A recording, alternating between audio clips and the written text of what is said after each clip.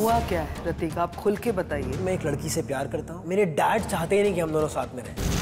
मैं प्रतीक के साथ रहती थी। मेरे डैड ने एक ऐसा काम किया है इसको बताते हुए मुझे घिना दिया।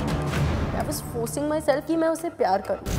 मैं अट्रैक्ट तो होगा ही ना मैं नॉर्मल आदमी हूँ। आपको अजीब नहीं लगा ना मेरी गर्लफ्रेंड के साथ सोने में? इसमें गलत क्या है? वो मेरा बाप है रूपल। तुम्हारी जैसी लड़कियों को पता है क्या बोलते हैं समाज में? अनकही वॉइस विद इन हर शनिवार रात 10 बजे सिर्फ़ जूम पर।